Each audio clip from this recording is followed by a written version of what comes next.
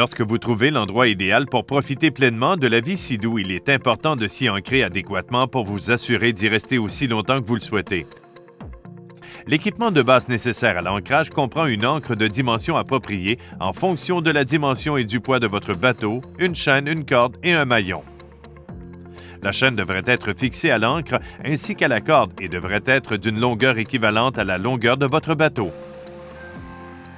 Assurez-vous que le bout de la corde soit bien attaché à votre bateau.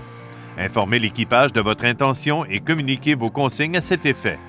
Lorsque vous approchez de votre point d'ancrage, vérifiez la profondeur puisque vous aurez besoin d'une portée d'ancrage de 5 pour 1, ce qui veut dire d'une corde 5 fois plus longue que la profondeur et même de ratio de 7 pour 1 si les conditions climatiques sont moins favorables.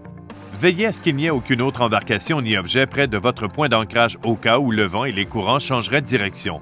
Lorsque vous avez déterminé l'endroit où vous voulez jeter l'ancre, amenez le bateau à un arrêt complet et abaissez l'ancre. Assurez-vous d'avoir une portée de corde suffisante avant de fixer l'ancre. Assurez-vous aussi que l'ancre soit bien fixée en vérifiant si elle ne glisse pas au fond lorsque la corde est tendue. Une fois que l'ancre est en place, fixez la corde sur l'un des deux taquets d'amarre.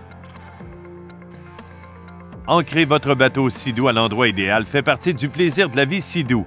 Pour plus d'informations, visitez la section propriétaire du site sidou.com.